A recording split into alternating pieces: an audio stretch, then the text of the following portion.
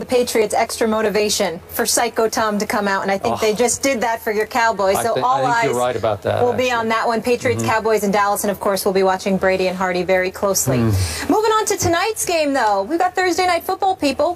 The second year of the Bill O'Brien era has not started as planned. The team is now one and three, and in the third quarter of last week's game against Atlanta, when the Texans were down 42 to nothing, they made a switch at quarterback on their way to a 48 to 21 loss. Stephen A. Who's who's to blame here for the Texans' slow start? Bill O'Brien. That's who's to blame. I mean, that's an easy question. Um, watching Bill O'Brien on Hard Knocks, I have an affinity for individuals, particularly coaches, who are just straight shooters. They let you know exactly where they stand. Um, they pull no punches. They tell you what it's going to be like, why it's going to be that way, it is clear and established that they're the boss. There's no confusion. They are where the buck stops.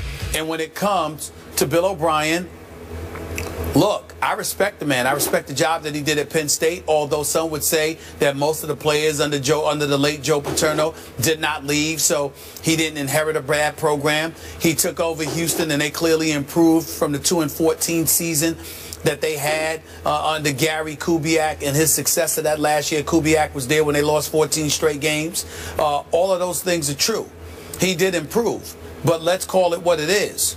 Um, Bill O'Brien had an opportunity to draft a Teddy Bridgewater. He had an opportunity to draft a Derek Carr. To a lesser degree, Johnny Manziel, who was drafted before both of those guys, but whose success hasn't been the same as those other two as of yet. He passed on that.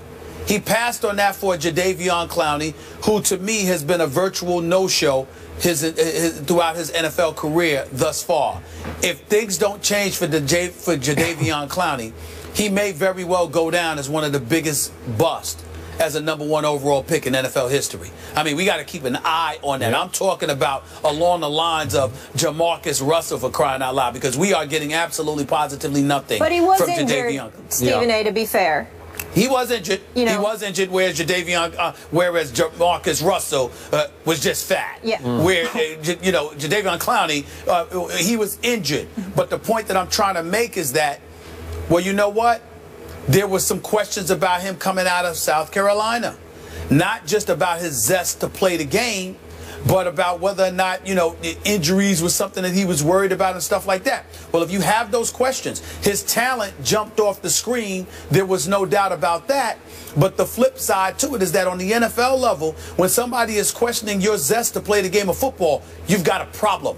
Well, Bill O'Brien and those boys, Rick Smith and those boys elected to go in that direction. Fair enough, because his talent spoke to that. But the quarterback position is the most important position on a football field. And evidently, it did not appear to be that way with a Bill O'Brien and Rick Smith. So when I look at it from that perspective and I see the trouble that they're having, it's raising red flags. Because even though their defense can be considerably better, the fact of the matter is their offense has been the problem. Their offense was the problem when Matt Schaub was there. Even when he was throwing 400 plus thousand, uh, 400,000 yards plus, when he got to the postseason, he looked like a deer in headlights. And then now, since he's been gone, you can't find anybody that can look halfway decent in the regular season. I mean, you, you got people that want to cr- crown Ryan Fitzpatrick as the second coming because of how how respectable he made them look last year. So clearly, your quarterback position is a problem. And I just look at it from the perspective that if you're Bill O'Brien, a lot of fire and brimstone. I certainly don't question his football acumen, but right now he's falling along the lines of all the other coaches that came from Bill Belichick. The Romeo Crennels, uh, the Charlie Weisses. I love both of them, but their careers have not been that successful as head coaches. And now you've got him and, of course, Josh McDaniel. I mean, New England coaches that became head coaches don't have the greatest record. Eric Mangini did relatively decent in New York, but he didn't last long. And now we see the problems they're having defensively in San Francisco. And we know how much we both respect Eric Mangini. I'm just saying that when you look at coaches mm-hmm. that you know came out of Bill Belichick's system and ultimately landed themselves head coaching jobs, they don't, none of them seem to be on the level of Bill Belichick. None of them. And Bill O'Brien's the latest. I wish, I, I hope he turns it around because I like him. But It's not that impressive thus far. I'm with you. I also like Bill O'Brien. But before I get to him and expand on your points, I got to make a quick one about J.J. Watt. Big I believe. The week you took off right before football started, this broke. The story broke that NFL.com had ranked the top 100 players in today's pro football. Right. And J.J. Watt. Mm -hmm was ranked number one, the most valuable player in all of pro football, regardless of position, quarterback, running backs, receivers, J.J. Watt. And That's my ridiculous. response that day was, J.J. Watt? J.J. Watt? Seriously. So now I, I ask again the same question I asked back in August. How can a defense that was behind 42 to nothing at Atlanta last Sunday feature the best player in pro football? How can J.J. Watt now be part of a team that over the last two years and now these four games of this year is 12 and 24? Is that the MVP of the league? What is he doing to lift that team above 12 and 24? I don't know.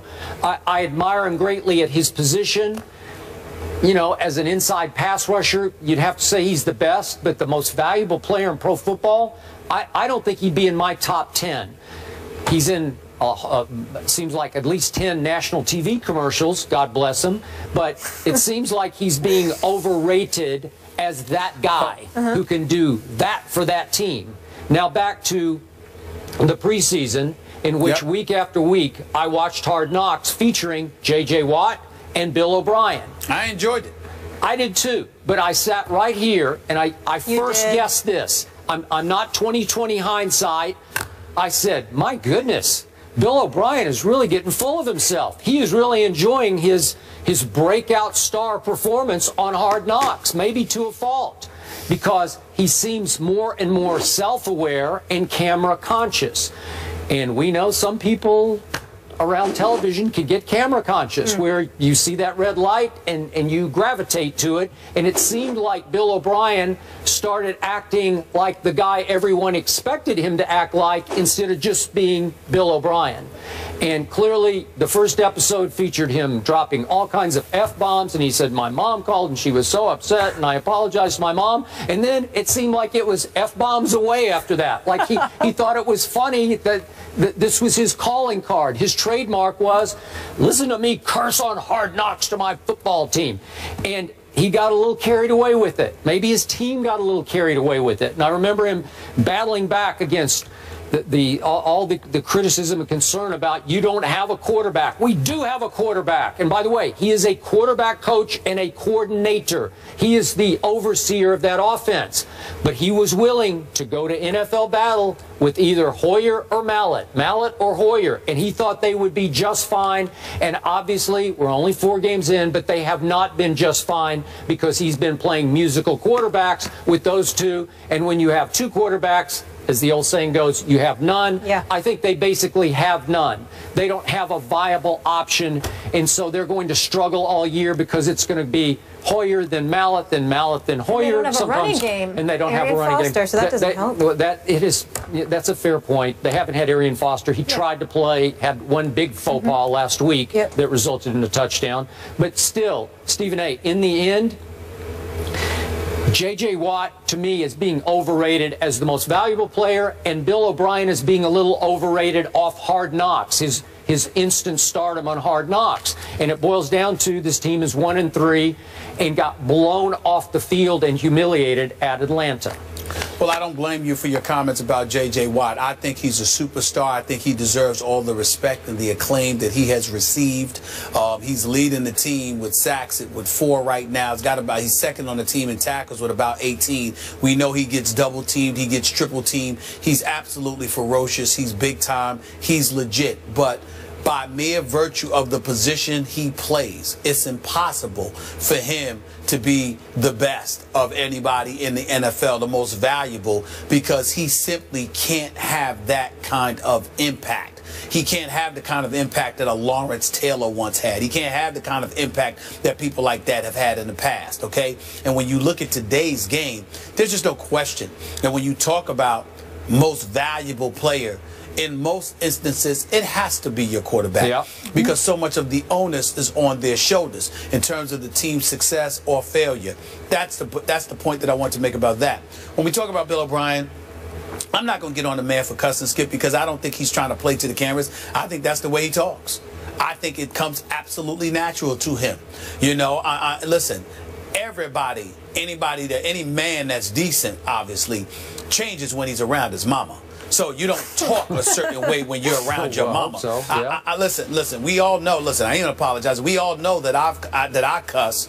I am 47 years old. My mother heard me cuss one time in my life, and the only time that transpired was when she was behind me and I didn't know. Uh-huh. That is the only time mm. that my mother has ever heard me say a curse word in my 47 years on this earth. I do not speak out of turn. I don't even raise my voice around my mama. It's just And, automatic. and what did Okay. your mama say when she heard that word slip out of your mouth? Well, you mean after she knocked me upside my head? That's what I was waiting You mean, for. you mean, you mean, you mean, it was, are you asking about what she did before or after? You know, after she lectured me and, you know, Stephen, I, I did not raise you that way, watch your mouth. But that was after I got slapped upside my head. So that was again, that was, and actually, guess what? That was two years ago. That's Oh, two years two ago. years It wa- ago. It wasn't, it wasn't like it Oh, was I a decade you ago. were 14 years. This- Yeah. No, this is two years Oh, okay. This is two years. She heard me cuss. Yes, I was 45 and I got slapped upside I my love head. it. And you know what I did? I said, I'm sorry. Yeah, because she's mama. Mm-hmm. So She is yeah, mama. but away from mama, you know, you you you gonna do certain things, mm. okay? So that's just the way it goes. Now, when I think about Bill O'Brien, you know, he doesn't need, you know, I don't think he was playing for the cameras. I think that's just who he is, Skip. But I think the indictable offense against him is that he turns out to be like most other coaches. People are forgetting what makes Bill Belichick special. You point out Tom Brady. You know what I point to, Skip? His courage to pick Tom Brady. To bring Tom Brady in there. And when Drew Bledsoe came back and was ready to go, he said, no, we're going to stay with Tom Brady. You got to remember, Tom Brady wasn't Tom Brady at that time. Mm-hmm. And even the games that he put forth, they weren't spectacular. But Bill Belichick saw something and didn't care about the money Drew, Ble- Drew Bledsoe, rather, was getting mm-hmm. paid and said, this is who we're going to go with, even though Tom Brady was stellar. And a lot of people felt that Bill that Bill Belichick should have made that move. Unfortunately, what we see from Bill O'Brien as and as other coaches, they tend to lean towards what they're familiar and comfortable with, understanding that that very thing goes against everything the NFL is supposed to be about. You ain't supposed to be comfortable. You ain't supposed to be secure. It's supposed to be up in the air. You're supposed to wonder because the game demands that. And the fact that we've got both Hoyer and Mallett on the squad, two former New England Patriots. You know, he's comfortable with them. I believe it's costing him because he picked dudes he was familiar with, as opposed to going out there and taking a chance on somebody whose potential could potentially be greater, but is also unknown. Last quick point. If Bill O'Brien, who once coached Tom Brady, had Tom Brady right now, they just well could be 4 0. I agree with If, that. any, if anyone had I Tom Brady. that. Good news for Bill O'Brien and the Texans may be here. According to our Adam Schefter, Matthew Hasselbeck is expected to start in place of Andrew Luck Oh. tonight in Houston. This just in. Up next.